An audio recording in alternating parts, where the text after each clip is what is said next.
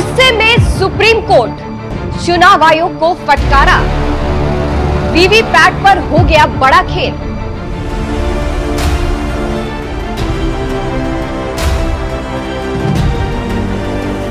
नमस्कार, मैं हूँ आपके साथ सृष्टि श्रीवास्तव।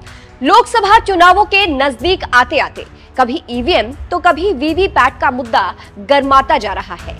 चुनावी माहौल के बीच सुप्रीम कोर्ट में एक बहुत अहम मामले पर सुनवाई हुई। न सिर्फ़ सुनवाई हुई, बल्कि कोर्ट ने केंद्र सरकार के साथ साथ चुनाव आयोग से भी सवाल पूछा है। सुप्रीम कोर्ट की तरफ़ से सीधा सीधा टिप्पणी की गई कि वीवीपैट पर्चियों की पूरी गिनती कराई जाए। इसी के साथ कोर्ट ने एक नोटिस भी जारी किया है।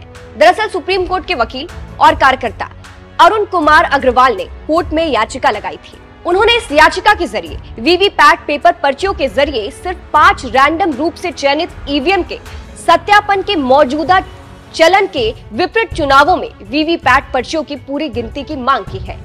इसी याचिका के आधार पर सुप्रीम कोर्ट ने नोटिस भी जारी किया है और जवाब मांगा है। आपको वीवीपैट की मौजूदा स्थितियों के बारे में बता देते हैं। मौजूदा स्थिति में वीवीपैट पर्चियों के माध्यम से कोई भी पाँच सिलेक्टेड ईवीएम को मान सकता है। इसी को लेकर अरुण को दिक्कत थी, जिसकी वजह से उन्होंने याचिका लगाई। उनका मानना है कि आखिर पाँच पर्चियों के आधार पर कोई चीज़ कैसे तय की जा सकती है। सारी की सारी पर्चियों का मिलान होना चाहिए। बात करें अगर वीवीपैट की तो वीवीपैट एक इंडिपेंडेंट वोट सत्यापन प्रणाली है, जो वोटर को ये दिखाता है कि उसका वोट सही ढंग से डला है या नहीं। वीवीपैट के ज़रिए ये भी दिखता है कि आपने जिसके नाम पर मोहर लगाई, वही सिलेक्ट हुआ है या नहीं। कोई और तो नहीं। ज़ाहिर है, अगर सारी पर्चियों का मिलान किया जाएगा तो चुनाव को और ज़्यादा निष्पक्ष होने की तरफ़ लेकर जाएगा। इसका सबसे बड़ा फ़ायदा यह है कि अगर ईवीएम के साथ किसी तरह का कोई विवाद होता है तो फिर पर्ची के साथ उसका मिलान करके चुनावों की निष्पक्षता को बरकरार रखा जा सकता है।